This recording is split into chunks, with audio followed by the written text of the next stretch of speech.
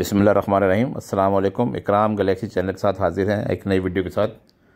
आज हम आपको आसिम मांडा हाउस पे ले जा रहे हैं, जहाँ मेन प्रोडक्ट है बाकर खानी देखिए बाकर खानी कैसे तैयार होती है।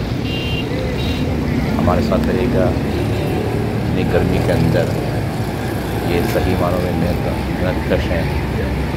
इतनी गर्मी में खड़े होकर आटा भी बोलते हैं।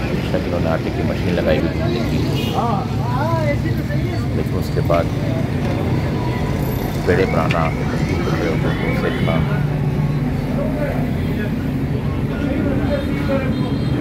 अगर आपने हमारा चैनल अभी तक सब्सक्राइब नहीं किया तो प्राइवेट सब्सक्राइब कर दें। बेल आइकन को दबा दें। हमारे साथ रहेगा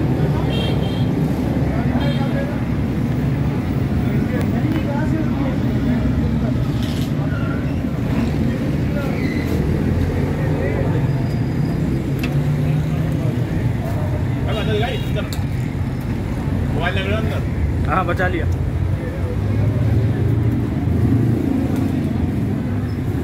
भाई कब से काम कर रहा हो ये?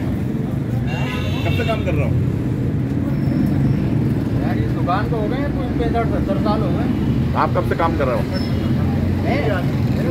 बाईस साल हो गए बहुत बहुत मेहनत वाला काम है अल्लाह ताला आपको जजाय लाइक करें शेयर करें कमेंट्स करें। गर्मी में काम करना। और इतना सा